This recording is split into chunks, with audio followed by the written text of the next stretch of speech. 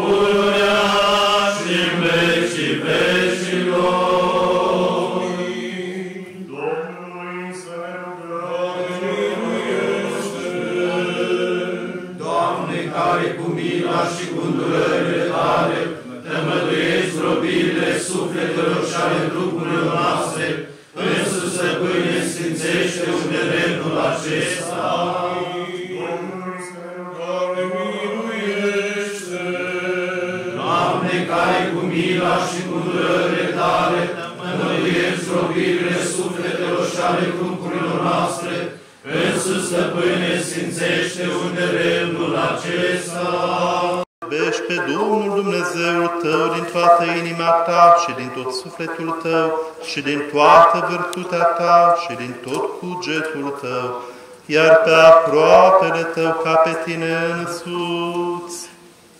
Atunci Iisus i-a spus, drept a răspuns, faci asta și vei fi viu.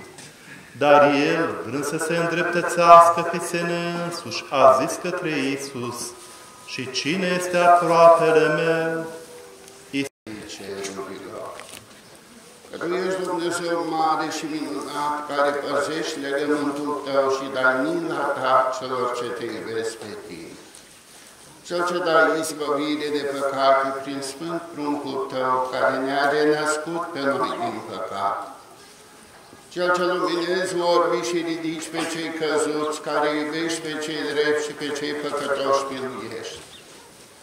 Cel ce ne-ai scos din întuneric și din umbra morții, zicând celor din legăturile iadului ieșiți și celor din întuneric descoperiți-vă. Ca a strălucit în inimile noastre lumina cunoștinței unui a născut Fiului Tău, de când s-a arătat pentru noi pe pământ și cu oamenii împreună viețuit și celor ce l-au primit le-ai dat putere să se facă Fiul lui Dumnezeu prin baia nașterii din nou, dăruindu-ne înfierea și făcându-ne părtași biruinței asupra vrăjmașului. Pentru că n-ai binevoit a ne curăți prin sânge, ce ai dat în, în îndelemnul sfințit chipul crucii, ca să ne facem noi turmă lui Hristos, preoții împărătească neam sfânt, curățindu-ne cu apă și sfințindu-ne cu Duhul cel Sfânt. Însuși, Doamne, dă-ne har spre slujba Ta. Precum ai dat lui Moise, lui Samuel și lui Ioan, alesului Tău, și celor ce au bine plăcuție în fiecare neam și neam. Așa fă și pe noi, să fim slujitori ai legii tale cele noi a Fiului Tău prin unelenul acesta, pe care sfințește-l cu scump sângele Său, care îmbrăcându-ne de poftele cele lumești să murim păcatului și să fim dreptății, îmbrăcându-ne în Domnul nostru Iisus Hristos, prin ungerea cu sfințenia, ce va fi adusă acestui undele.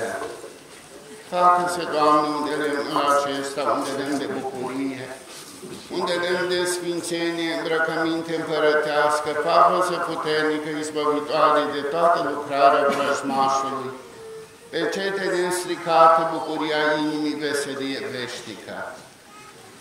Ca și cei care se vor unge cu lemnul acesta în oirii, să fie de temut pentru cei potrivnici, și să strălucească în strălucirile Sfinților de neavând închinăciune ori prihană, să fie primiți o odihna ta cea veșnică și să ia plata chemării cele cerești.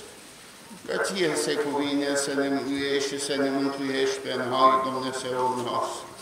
Și ție slavă înălțăm împreună și unui a născut Fiului Tău, prea Sfântului și Bunului și de viață Făcătorului Tău Duh, acum și pururea și în vecii vecilor. Amin. Domnul să ne rugăm.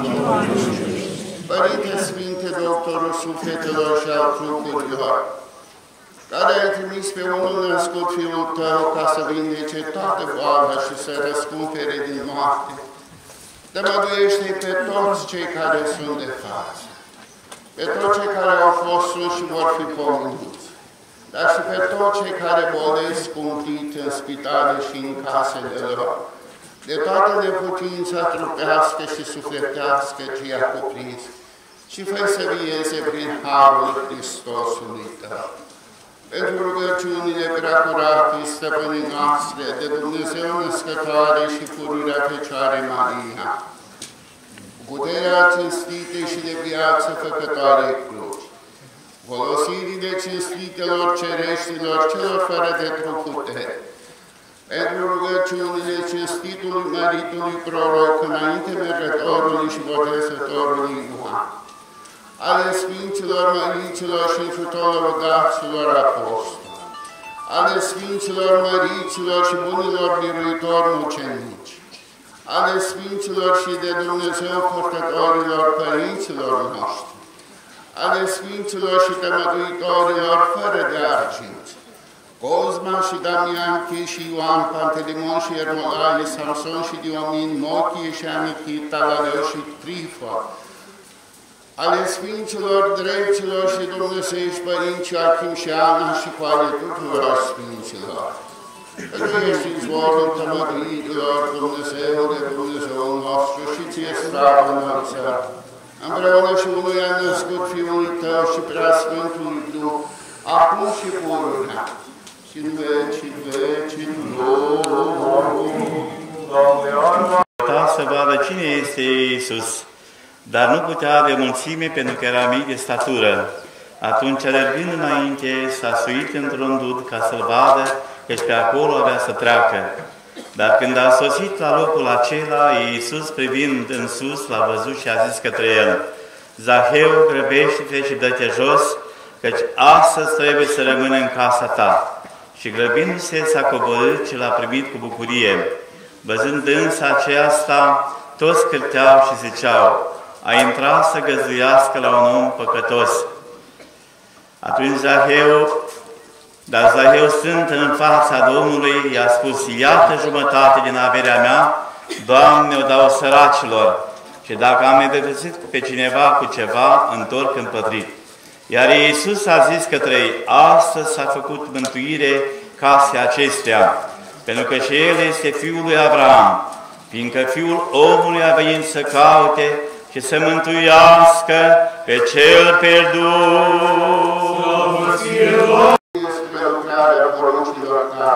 Spre lucrarea poruncilor tale, picioarele lor, îndreptează-ne spre vestirea Evangheliei tale, toată arcăruirea și gândirea lor, întărește-le cu harul tău.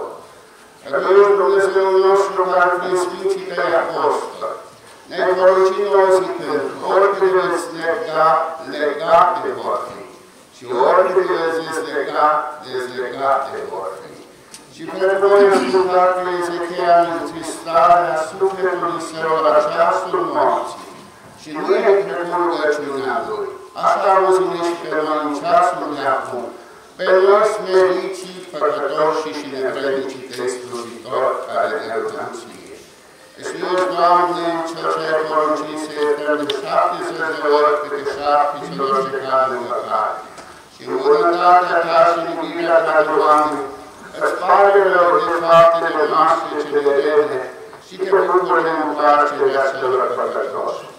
Că precum este slava ta, așa este și mâna ta. Și tu slavă înălțăm împreună și Părintele Tău cel fără de început. Să ne puneți știință, ce de cuvântare de bunătate și bună ascultare, ce s-a făcut de către toți cei care sunt de față. Părinți împreună slujitori, împreună cu toți ai casei lor, credincioși și credincioase, părinți, frați și ostenitori, ctitori, donatori și binefăcători și închinători ai acestei sfinte mănăstiri. Așa în mijloc, aceasta vreau să vă pun la inimă și să o aveți ca o învățătură foarte folositoare, că nu este nimic întâmplător în anul liturgic și în desfășurarea acestuia. Nu putem să nu salutăm cu evlavie și cu sinceritate și cu dragoste deosebită prezența în aprea Sfințitului Calenit, arhiepiscop numai de curând al Sucevei și Rădăuților, care a păstorit cu evlavie nu numai arhiepiscopia episcopia ca episcopicar, dar uh, foarte multe locuri, între care și acesta cu hramul nașterii Maicii Domnului. Dacă Maica Domnului, iubiți credincioși, este prezentă în toate actele mari ale Mântuitorului Iisus Hristos și la naștere și la pogorirea Duhului Sfânt, este și acum la schimbarea la față, pentru că se petrece chiar în mijlocul postului adormirii Maicii Domnului, dar de ce nu să nu subliniem și faptul că întreg anul bisericesc, începând cu data de 8 septembrie, începutul indictionului și până la sfârșitul anului bisericesc, 15 august, imediat sâmbăta viitoare, este patronat, parcă ca o crotitoare și ca o mai mare peste toți sfinții și peste heruvim și peste serafim. Mi s-a atras atenția să nu vă ținem prea mult. Două sfinte taine sunt tămăduitoare din cele șapte, una este pentru suflet, adică spovedania, în care se desleagă și se scoate rădăcina păcatului, ca să se temăduiască sufletul și să vină iarăși din răspândirile păcatului spre Dumnezeu, iar a doua este pentru trup, adică aceasta taina Sfântului Maslu. Aș face din puțina mea experiență câteva sublinieri și apoi închei, dragii mei.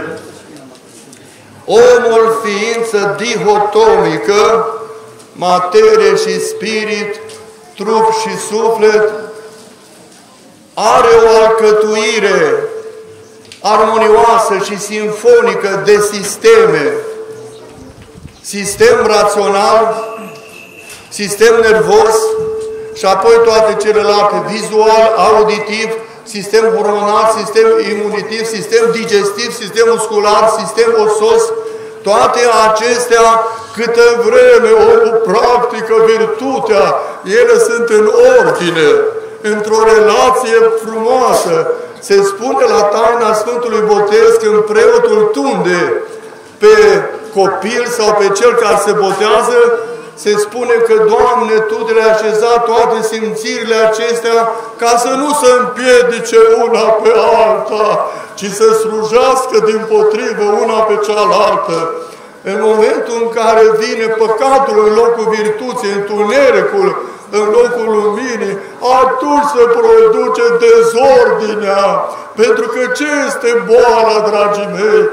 Este de fapt o dezordine a intersecțiilor sistemelor, începând cu cel rațional, continuând cu cel nervos și apoi cu toate celelalte. Astfel se îmbolnăvește sau se poate îmbolnăvi datorită păcatului, se poate îmbolnăvi organul cel mai important al corpului omenesc, creierul, la partea de suprastructură a omului. Apoi, după aceea, sistemul nervos se poate îmbolnăvi. Ori Dumnezeu să fiu într-o asemenea postură foarte pretențioasă la Spitalul Socola și să avem acolo boli ale sistemului rațional și ale sistemului nervos, dragii mei. Uneori, din păcate, incurabile și foarte, foarte grele, se produce o dezordine în creierul mic care este așezat aici în spatele capului, se produce o dezordine și atunci intră în dezordine și celelalte sisteme. Am auzit un arhiereu bun și profesor de teologie, Ioan Mihălțan, spunând, toată lupta este între ordine și dezordine. Să avem grijă, dragii mei! Ordinea este raiul lui Dumnezeu și împărăția cerurilor, iar dezordinea este iadul, infernul, cu toate imperfecțiunile, răutățile și neputințele lui. Firea omenească și cu asta închei, este alunecătoare. Și atunci ne-a dat Dumnezeu după taina botezul, știind că suntem neputincioși și de foarte multe ori păcătoși. Și noi preoții și dumneavoastră poporul, dar să desparte turma, dragii mei. În momentul în care un păcătos se aseamănă cu tălharul din dreapta care a spus, pomenește-mă, Doamne, noi am greșit înaintea lui Dumnezeu pentru ce ulești? Aici să despart creștinii unii de alții sau oamenii unii de alții, dragii mei, cei care au simțul conștiinței și apărării de rău și a pocăinței, cei care și-au pierdut acest minunat simț care este mea culpa, am greșit, Doamne, primește-mă iarăși ca pe Fiul ce rătăcit. Aceasta este dovada credinței, a nădejdii și a dragostei. Lângă care, dacă mai adăugăm și celelalte patru virtuți capitale, înțelepciunea, prudența, curajul și bărbăția, atunci revenim cât mai ușor din răspândirile neputințelor omenești, de foarte multe ori biruitoare asupra sistemului dihotomic uman. Mulțumim din tot sufletul în numele dumneavoastră, dacă îmi pot permite, în numele preacucernicilor, preacuvioșilor părinți, în al presimțitului care, așa de aglomerat fiind, nu și-a uitat copiii, nici mănăstirea aceasta. Mulțumim Părintelui Stareț, care ne ocrotește și ocrotește aici pe foarte mulți. Nu puneți bănuții, că se văd, dragii mei, ce este aici. Când am intrat și am văzut aici, am făcut comparația cu mănăstirea Sâmbăta, că sunt foarte legat acolo, lângă Sibiu, lângă Făgăraș. Și am zis, Doamne, ce s-a făcut aici este chiar mai mult decât la mănăstirea Sâmbăta de Titoria, în al preasfințitului, vredic de pomerire, Antonie. Și-a adus o contribuție foarte mare, nu-i menirea mea, o spun cu smerită plecăciune, o foarte mare contribuție lângă Părintele Staros Nicodem, în al preasfințitul, care nici care nu putem spune, că prea ne-am obișnuit 30 de ani să spunem preasfinția voastră și să încurcă un pic rațiunea și datorită emoțiilor care vin din respect deosebit. Fiecare de dumneavoastră care sunteți aici și care nu au venit din binecuvântate pricini, știți foarte bine pentru ce ați venit. Fie Domnul lăudat pentru toate și pentru toți. Amin. Sfinția voastră, iubiți credincioși, eu sunt la Bogdănești, din Suceava, unde avem un cămin de neputincioși, ori și paralizați, într-un număr destul de mare. În alt Sfințitul nostru Calivic a avut prima, să zic așa, la noi în eparhie, unde este nou numit, a avut prima ieșire prin bunătatea și prin râvna Părintelui Stareț, pe plan social, la noi, la Bogdănești. Îi mulțumim din suflet pentru această faptă de milostenie adevărată de care a dat dovadă și mulțumim și dumneavoastră, celor din părțile Iașului și chiar și de aici, care faceți dovada că sunteți buni la inimă. Dumnezeu să vă ajute. La mulți ani! Trebuie să recunosc că n-am crezut că o să reușiți. Nu de mult ați fost pus în demnitate de arhiepiscop al Sucevii și Rădăuțului și acești credincioși și pelerini în altă sfinția voastră, să nu uitați că au venit să ia binecuvântare, învățându-se totodată cu în altă sfinția voastră, la care deja s-a format o frumoasă rânduială, o frumoasă tradiție, grație în altă Sfinției voastre, ca în fiecare post, din mila lui Dumnezeu și cu binecuvântarea noastră Sfântul nostru drag, Mitropolit Teofan, prezența ierarhului la toate evenimentele și hramurile Sfinte noastre mănăstiri. În altă Sfinția voastră, timpul scurt, să vă mulțumesc în primul rând că m-ați trimis în mănăstire. Sunt 34 de ani de când am pășit spre mănăstirea Pudna și m-ați întâmpinat și m-ați blagoslovit să intru în viața monahală. Da, în altă Sfinția voastră mi-ați dat binecuvântare când am intrat în viața monahală la Sfânta Mănăstirea Putna. Și iată, Hristos, preacurata Maică la Dumnezeu, vă reîntoarce înapoi acasă, unde ați fost de altfel și călugărit și pot să spun că mulți s-au întrebat de ce vă iubește atât de mult Bucovina. Pe normal că sunt ani de zile, a slujit și ca diacon, și ca eromonah, și ca eclesiar mare, ați fost ghidul Sfintei Mănăstiri. Și iată de mila lui Dumnezeu și a preacurate Maicii lui Dumnezeu, prin îndoiala noastră a Sfințitului a Sfântului Sinod și a preafericitului, Maica Domnului v-a pus acolo unde meritați și vă este locul. Bucovinenii noștri sunt foarte fericiți și totodată foarte binecuvântați, fiindcă le-a venit arhereu drag, arhiepiscopul înalt preasfințitul Calinic, care a fost Calinic Botoșănean. Să știți că aici, iubiți credincioși, am pus spus de înalt preasfințitul Pimen al Sucevii Rădăuțului, acum 30 de ani, când era locțuitor de mitropolit la Iași și cu binecuvântarea înalt preasfințitul Pimen am început în această oază, această frumoasă mănăstire, astăzi fiind frumoasă, fiindcă arăta ca după război.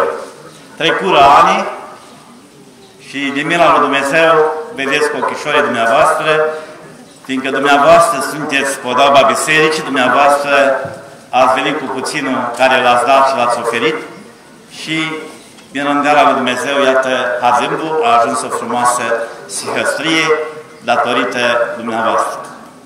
La presinția voastră nu cred că mi-ajung ani să vă mulțumesc pentru toate sfaturile, povățuirea și dacă ne uităm bine în orice colțișor, este binecuvântarea noastră să mă refer la toată arhitectura, aspectul moldovenean Ștefănean și vă mulțumesc că lăsați lucruri frumoase, dar dacă îmi dați voie să rog pe Preacuvios Părintele nostru exact să pună un cuvânt la Anul Sfântul Părinte Mitropolit Teofan, m-ar dorea sufletul să nu se mențină această rânduială frumoasă, ca în fiecare post, prezența era acolo. Dacă vreau să vă rog în sufletul meu, fiindcă știu că țineți foarte mult la mama și la mănăstiri, și nu-ți prorog, dar Hristos o să vă aducă, o să vă aducă acolo unde vă este locul și am credință că o să fie bine din la lui Dumnezeu și vă iubim să nu uitați pe cuvântul Sfânt exact. Iar în altă Sfântului, normal că nu pot să spun că am asalt la Anchilan, ci ne-am răsfințit. Fiindcă n-am răsfințitul Părinte Microfolit, Teofan, mi-a promis când am pășit prima dată la Mănăstirea Rândru, toate ramurile și evenimente vei avea prezența Eracului. Pe bună dreptate, s-a ținut în actul de cuvânt și niciodată n-a lipsit Eracul de la ramurile mănăstirii și toate evenimentele care le-am avut în mănăstire. Prea cuvioasă pe să vă rog cu mine împreunate. Să fiți alături de noi, cum a spus și până astăzi, că țineți locul și veți ține locul. Are grijă mai să Domnului de cuvioșia voastră. Și am credință și nădăjduiesc că n-am prea Sfințitul Părinte Mitropolit Ofan o să blagoslovească, iată că se apropie ramurile, și cum era după Lângară, în an, în an ca Sfințitul Carnic, în an, în an Părinte Mitropolit Teofan, anul acesta, cum o să gândiți pe Cuvea Sfântul Isar și cum o să gândească în an ca Sfințitul Părintele Teofan. Vă mulțumesc de inimă, în altă zi să mă plec și vă mulțumesc și rog pe Hristos Dumnezeu să vă ajute să vă dea putere și tărie, că nu ușor este ceea ce ați început și veți începe, ruga pentru sănătate, pentru sănătatea sufletului și, trup, și trupului și la aceste rugăciune sănătate în al preasfințitul Părinte Calenica a adăugat care, care fiecare dată prețioasele rugăciuni de dezlegare, rugăciuni arhierești care ne sunt de folos. Ne-am rugat Domnului să ne dezlege de orice legături, să ne dorească sănătate, nu ca să ne slujim nouă înșine, ci ca să slujim celorlalți, ca să facem voia lui Dumnezeu. Încât acolo unde ne rânduiește Dumnezeu pe fiecare din noi, să fim atenți, să fim cu inimă dăruitoare, să fim cu inimă slujitoare celuilalt. Și atunci când se împlinește voia lui Dumnezeu, se bucură îngerii în ceruri și oamenii îl cinstesc pe Dumnezeu, pentru că acesta este scopul rugăciunilor pe, pe care le avem, pe care le facem în biserică, acesta este scopul vieții noastre. Să ne ajute Domnul fiecăruia să slujim cu luarea aminte, ca și prin noi să se cinstească numele Lui Dumnezeu cel Sfânt, în mănăstirea aceasta, în familiile dumneavoastră, în viața noastră de zi cu zi. Dumnezeu să ne ajute să facem față acestor provocări de anul acesta nu ușoare și cei care veți beneficia de cazarea pe care Părintele, iată, cu ajutorul Dumnezeu va pune la dispoziție, să fiți atenți, să respectăm toată rânduiala spre binele nostru, pentru ca să plecați de aici întăriți sufletește și trupește. Amin. Dumnezeu să ne ajute. Mulțumim, Părinte Sales, pentru toată slujirea și pentru toată dragostea.